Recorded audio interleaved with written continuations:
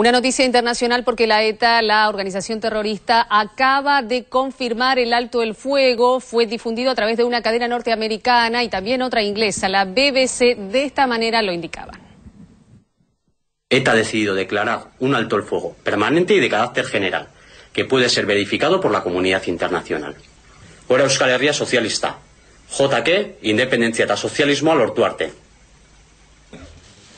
El comunicado está fechado el 8 de enero. ETA dice que el proceso democrático para el final de la violencia debe resolver el núcleo del conflicto que vuelve a pasar por las claves de la territorialidad y el derecho de autodeterminación del pueblo vasco. La banda terrorista hace un llamamiento a las autoridades españolas y francesas a abandonar para siempre las medidas represivas y la negación de la Euskal Herria. Este comunicado es el octavo pronunciamiento realizado por la banda terrorista en los últimos 12 meses y la duodécima proclamación del de la violencia realizada por la ETA, que comenzó su actividad para lograr la independencia del País Vasco de España hace cinco décadas.